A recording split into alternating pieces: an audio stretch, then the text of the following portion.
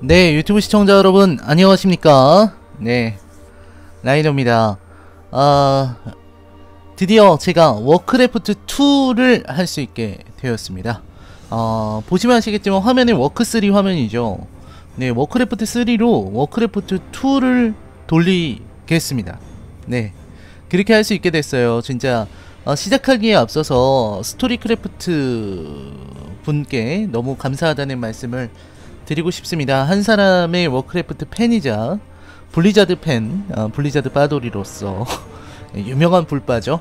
아무튼 워크래프트 팬으로서 다시 한번 워크래프트 2를 그 옛날의 그 인공지능이 아니라 워크래프트 3로 다시 재구현한 어, 그런 버전으로 즐길 수 있게 된 부분에 대해서 한 명의 워크래프트 팬으로서 감사를 드리고요. 아, 저는 이제 워크래프트 2 휴먼 캠페인, 휴먼부터 시작인데 휴먼을 정한 것은 정말 좋은 거라고 생각합니다. 왜냐면 워크래프트 1은요. 오크 스토리가 정사예요. 그리고 워크래프트 2는 어, 휴먼 스토리가 정사가 됩니다. 그러니까 워크래프트 1에서는 오크가 승리한 게 어, 정식 스토리가 되었습니다.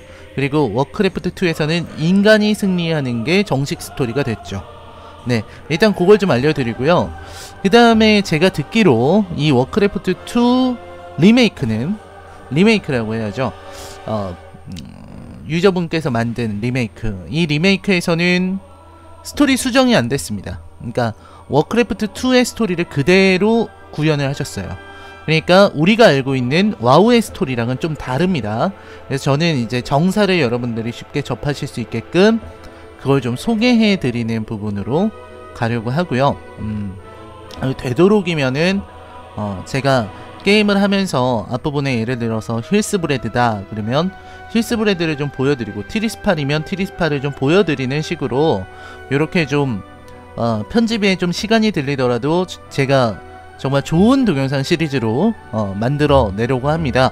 그래서 프롤로그만 오늘은 좀 동영상이 굉장히 짧더라도 프롤로그만 일단 하고 그 다음 1편의 프롤로그만 일단 하도록 하고 그 다음에 이제 힐스 브레드부터는 제가 와우에서 구현된 모습들 그리고 이미지들 이런 것들을 좀 집어넣어서 보여드릴 수 있다면 정말 좋을 것 같아요 그래서 한번 시도만 해보겠습니다 제가 뭐 잘하겠다는 게 아니라 아, 실력이 부족해서 잘할 수 있을지 모르겠고요 아무튼 어, 바로 한번 보도록 하겠습니다. 여러분들이 그렇게 진짜 워크래프트 2가 나온 지 20년도 더 된 게임인데 이 게임 기억하시는 분들 그리고 그때 재밌었던 분들 그때 여전히 나는 그때의 그 어 그게 기억나시는 분들도 있어요.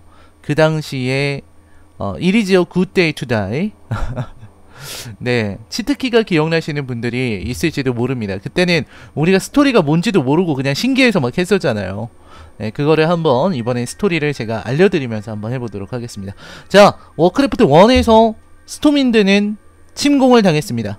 음, 오크들은 어둠의 문을 열고 네, 저주받은 땅에서부터 올라와서 검은 바위 첨탑을 차지하고 스톰윈드를 침공 스톰윈드를 침공해서 스톰윈드를 함락시켰습니다. 그래서 스톰윈드에 있는 어 예전에 구 아제로스 왕국이라고 했었죠. 그 스톰윈드에 있는 어 백성들은 모조리 파멸당한 거죠. 네, 나머지는 이제 도망을 쳐야 되겠죠. 아, 그런 상태에 있었던 거고 그 중에 이제 레인 린 국왕이 죽었습니다. 음, 바리안 린 국왕의 아버지죠. 레인 린 국왕은 살해당했고요. 누구한테 살해당했냐면 오크의 암살자 가로나에 의해서 살해당했죠. 음. 그리고 그 반격의 일환으로 안두인 로서와 대마법사 카드가 등은 메디브를 공격했습니다. 그래서 카라잔으로 들어가서 메디브를 공격해서 메디브를 살해하죠. 그때 메디브의 마법으로 인해서 카드가는 늙어지는 저주에 빠지게 됩니다. 거기서 메디브는 공식적으로 죽었고요. 네, 공식적으로 죽은 것입니다. 자 그러면 티리스팔 바로 들어가 보도록 하겠습니다.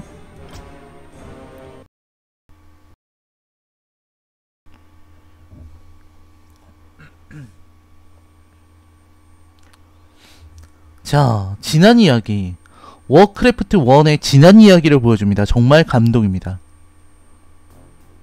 프롤로그 1부. 아제로스 몰락에 대한 간략한 역사. 티리스팔의 여족장이 들려주는 이야기.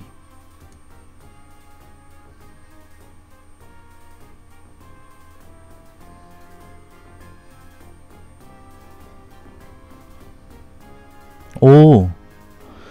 어, 나의 이름은 에이그인. 천년 동안 나는 이 세계와 왕국을 돌아다니며 이 땅의 사람들을 끝없는 어둠 너머에 있는 무형의 세력들로부터 보호하기 위해 노력하였다. 나는 강력한 왕국이 일어서고 몰락하는 것을 보았고 높고 고귀한 자들과 오합지졸들의 어리석은 행동들이 인류의 문명을 결정짓는 것을 보았다.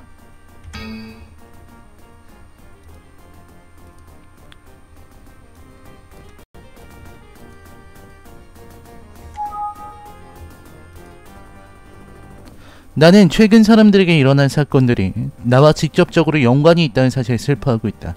수많은 세월 동안 왕국에 넘어있는 수, 흉악한 악마들과 알 수 없는 존재들 그리고 끝없는 어둠의 신비로부터 사람들을 지키고 질서를 유지하는 것이 나의 임무였다. 네, 에이그윈은 티리스팔의 수호자였죠. 음. 네. 궁금하신 분들은 와우 스토리 정리를 보도록 하십시오. 뒤틀린 황천의 어둠의 세력들과 싸우기 위해 우리는 고대 엘프들에 필적하는 수명 그리고 막강한 힘을 받았다. 이러한 힘과 함께 무거운 짐을 지니게 되었다. 수호자는 상속자가 선택되어 보호의 망토와 다른 것들이 모두 전달되기 전까지 일반적인 사람들의 일에는 간섭할 수 없다. 그러나 나는 나는 에이그인 트리스팔 의회의 최후의 수도, 수호자 나의 시대가 왔다고 생각했다.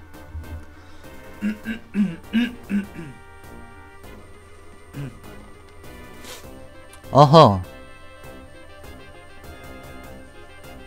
내가 처음으로 니, 아제로스 왕국의 마법사인 니엘라스 아란을 찾으러 온 지 42번째 겨울이 지났다. 그것은 내가 나의 힘들을 물려줄 아기를 직접 선택하기 위함이었다. 니엘라스 아란은 마법에 관한 특별한 재능을 가진 사람이었다. 그리고 그는 나의 아이를 위한 완벽한 아버지가 될 것이라고 믿었다. 네, 니엘라스 아란과의 사이에서 아이를 낳게 되죠. 음. 니엘라스 아란은 지금도 카라잔에 가시면 보실 수가 있습니다. 월드 오브 워크래프트에서 말이죠. 아하. 나는 559년 겨, 가을 아들을 낳고 메디브 고대 엘프어로 비밀의 수호자라는 뜻, 뜻 이런 이름을 가지 이름을 지어주었다. 나는 확실하게 아이가 성년이 되었을 때에만 발휘할 수 있도록 나의 모든 지식과 힘을 전수하였다. 나는 니엘라스 아랑과 사람들의 보살핌으로 아이가 이 세계에서 나의 일들을 해줄 것을 믿고 나의 남은 삶을 들판에서 떠돌며 지냈다. 그러니까 공식적으로 수호자의 자리를 메디브에게 준 겁니다. 나는 먼 곳에서 나의 아이가 어린 시절을 지내는 것을 지켜보았다. 나는 트리스팔의 수호하는 마음이 그의 가슴 깊은 곳에 확실하게 남아있어 그가 사람들을 수호하려는 마음을 지니며 자라날 운명을 믿고 있었다.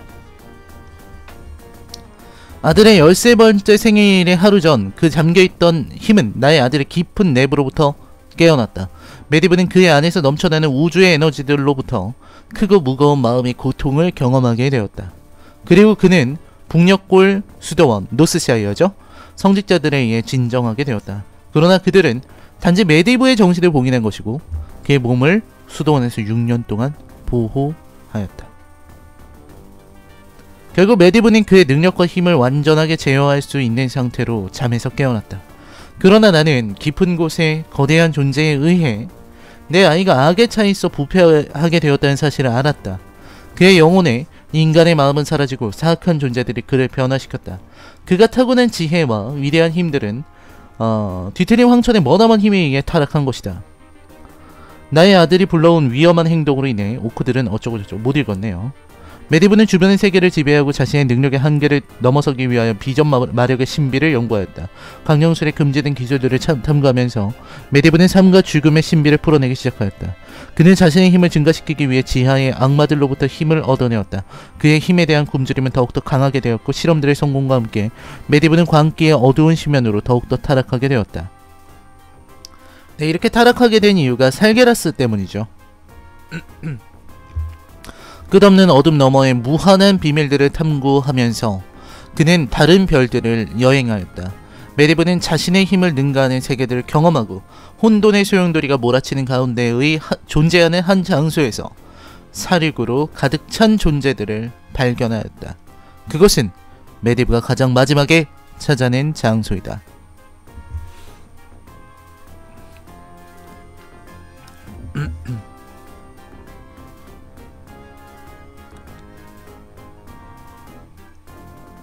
아, 굴단의 모습입니다. 아제로스의 지배를 넘어 완전한 정복을 원한 메디브는 흑마법사 굴단. 그는 그 어둡고 붉은 세계의 지배자 중에서 메디브의 환영을 자주 본 사람이다. 굴단과 계약을 하기 위해 트리스팔의 지식으로부터 얻어낸 통찰력을 사용하였다.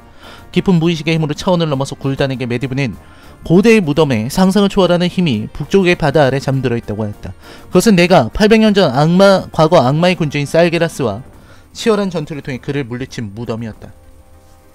어쨌든 살게라스의 힘이 그곳에 남아있으며 만족할 줄 모르는 굴단에게 그 힘을 준다는 메디브의 약속은 굴단과 거래하기 위해 충분한 것이었다. 메디브는 세계를 정복하기 위해 굴단에게 살게라스의 무덤의 위치를 알려주는 것에 동의하였다. 이 선물에 대한 교환으로 메디브 세력을 넓히는 데 방해가 되는 거대한 아제로스 왕국을 파괴해 줄 것을 요구하였다. 굴단에게 힘을 줄, 주기로 약속을 하고 아제로스의 파괴를 의뢰한 것이죠. 네, 안팎으로 열립니다. 어둠의 문입니다. 그리고 583년 메디브의 첫 번째 처음문이 아제로스의 세계와 오크들의 붉은 대지 사이에 열렸다. 나의 죽음이 가까이 와, 가까워왔지만 나는 그러한 일들이 메디브가 자신을 파멸시키는 길이라는 설득을 시도하기 위하여 그의 탑에 찾아갔다. 과거 티리스파르의 힘들은 그의 안에서 사라져서 나의 말들은 그에게 전해지지 않았다. 나는 부족한 나의 몸과 힘으로 그와 대결하였지만 나의 모든 힘을 전수한 그에게 상대가 될 수는 없었다. 나는 패배하였고 네 거기까지만 읽었네요. 아무튼 A구인이 찾아간 것은 사실입니다. 실제 역사예요. 네. 아 이거는 네 누군지 아시죠? 블랙핸드입니다. 굴단과 호드의 대족장 블랙핸드의 도착으로 5년 동안 아제로스 왕국은 전쟁으로 상처입게 되었다. 왕국의 비옥한 땅들은 완전히 파괴되었고 오크들의 무자비한 병력 앞에 몰락하였다. 메디브는 그러나 그의 계획이 시, 실행되기 전까지 살아남지 못했다. 나의 아들은 그의 탑에 침입한 아제로스인과 그의 동료들에 의해 그가 오크들을 불러들인 앞잡이라는 이유로 살해당했으며 심지어 오크들의 대족장인 블랙핸드도 그의 하인 오그림 둠해머의 배신으로 최후의 승리 직전에 살해당하고 말죠. 오그림 둠해머가 죽여버립니다.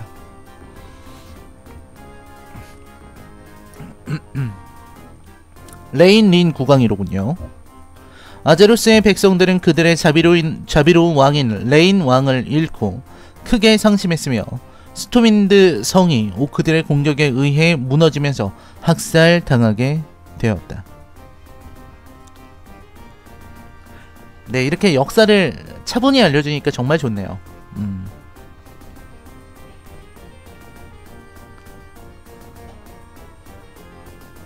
아까도 말씀드렸지만 바리안 린 국왕의 아버지입니다. 아, 이분은 네 모두 아실 겁니다. 네 단지 안두인 로서와 그의 용감한 말에 기사 단원들이 겨우 살아남은 사람들과 피난하게 되었다. 그렇습니다. 휴먼 역사상 길이 남을 영웅 안두인 로서의 등장이네요. 안두인 로서. 이 사람이 바로 안두인 로서입니다. 네, 그렇습니다. 크, 어, 멋지군요.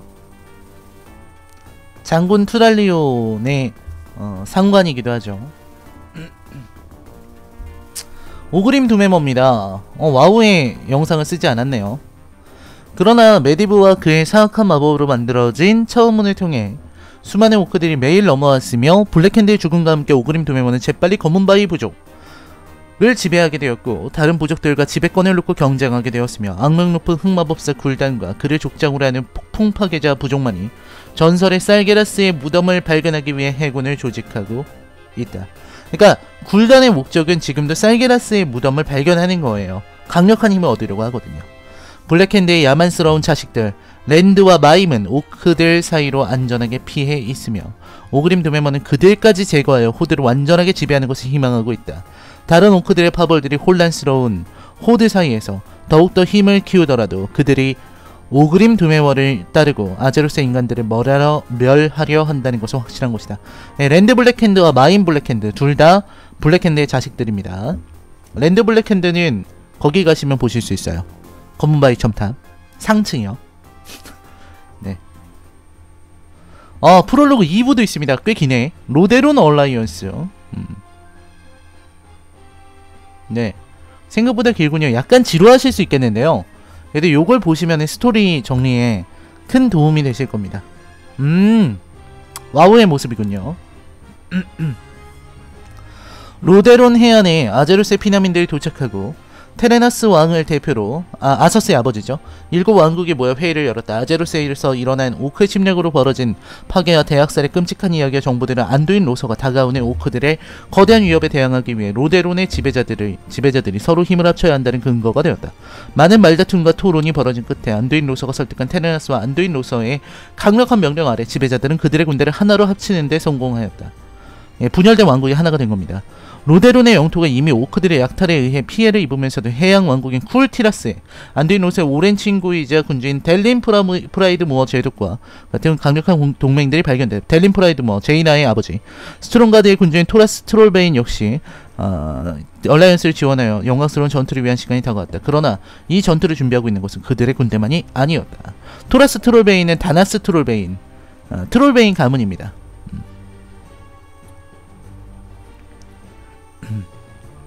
그렇습니다. 여기는 북녘골 수도원 같은데요. 알론서스 파울, 지금은 파괴된 북녘골 수도원의 수도원장과 악마에 대항하는 신성한 갑옷으로 무장한 지휘자들은 로데론의 성직자들과 함께 전쟁에 참여하기로 했다. 그 수호자들에 의해 천상을 수호하기 위한 검이 준비되었고 남쪽에서 빠르게 다가오는 어둠의 물결과 전투를 벌일 준비가 되었다. 네 그렇습니다. 알렉서스 알렉 알론서스 파울 네 북녘골 수도원 그러니까 노스샤이어 수도원의 수도 원장입니다. 강력한 신성한 힘을 가지고 있는 신성한 빛의 힘을 가지고 있는 대단한 사람이었죠. 그 다음에 여기는 아시죠? 예, 아이언포지가 있는 음, 카즈모단이죠. 고대로부터 존재한 카즈모단의 지하굴에는 아이언포지의 드워프들도 동참하였다. 오크들이 이미 그들의 왕국을 침범하고 있었기 때문이다. 드워프들은 얼라이언스에 필요한 뛰어난 기술력을 제공하였다. 그리고 그들도 역시 오크들을 자신의 땅에서 몰아낼 것이라는 의지를 가지고 있었다. 네, 이게 바로 어, 진짜 거대한 얼라이언스 연합이 발생하게 되는 계기가 되는 겁니다. 오크가 침범했기 때문에 일곱 왕국이 다시 하나가 되고 그리고 어, 카즈모단의 드워프들도 힘을 하, 힘을 주는 거고요. 북녘골에 이제 성, 성직자들, 성기사들도 오는 거고요. 여긴 쿠엘탈라스죠. 다른 종족과의 교류를 꺼려하는 실버문의 엘프들 역시 위협이 드려진 쿠엘탈라스를 지키기 위해 얼라이언스에 가담했다. 대제의 힘을 사용하는 그들의 마법은 오크들이 악마들의 힘을 사용하여 로데론을 침략할 것이라는 것을 보여줬다. 네 그렇습니다. 지금 보시는 게 쿠엘탈라스고 예, 아서스에 의해서 파괴되기 이전에 쿠엘탈라스 저 멀리 보이는 게 실버문입니다. 네. 아서스는 이 길을 따라서 워크3에서 진격하게 되죠.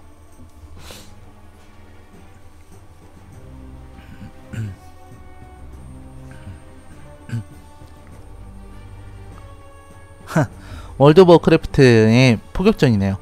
자, 이렇게 세 종족의 결합은 로데론의 전체 얼라이언스로 발전하였다.